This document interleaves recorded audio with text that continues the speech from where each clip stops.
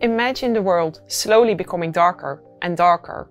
Year by year, your vision deteriorates, and you know there's nothing that can be done. That's the reality for people with Stargardt disease.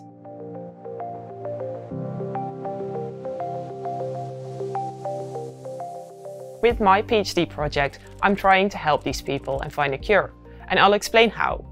So first, it's important to know what Stargardt disease is. And it all starts with a mutation in a gene called ABCA4 that is active in the retina of the eye. And the retina is made up with all kinds of cell types that work together to translate light into vision. When the gene doesn't work right, it will cause buildup of a specific pigment called lipofuscin that causes all kinds of damage to the retinal cells. And if the damage gets bad enough, these cells will lose their ability to make energy and they die, making you blind. So we need something to keep these retinal cells alive.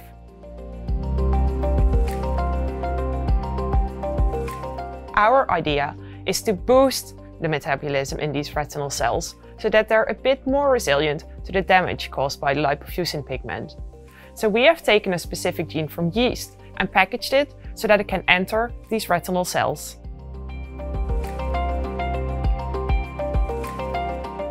Yes, this gene is basically the yeast version of a protein complex that's also present in humans, but it's a bit smaller so that it's easier to package.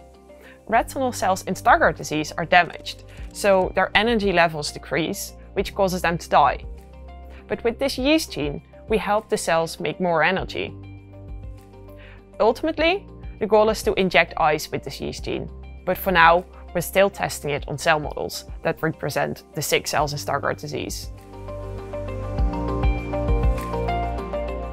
So far, we found that this yeast gene improves the function of mitochondria in the cells. And that's a good thing, because mitochondria are the powerhouse of the cell. They provide energy, and we see that the yeast gene leads to a stronger metabolism in these cells. And this enables them to handle the damage caused by lipofuscin better. Of course, a lot more work needs to be done, but our results are very promising.